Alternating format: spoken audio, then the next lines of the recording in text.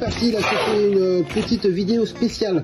Euh, monsieur, monsieur, monsieur, monsieur Thébault Sébastien. Eh ben écoute, tu as été le premier à avoir commandé un méga cube. Donc bah écoute, comme tu es le premier, je vais te régaler. Euh, je vais te rajouter, bon, je te rajoute l'ensemble des packs euh. Je te mets deux gobelets, je te mets un cache-cou parce que parfois on se les gèle.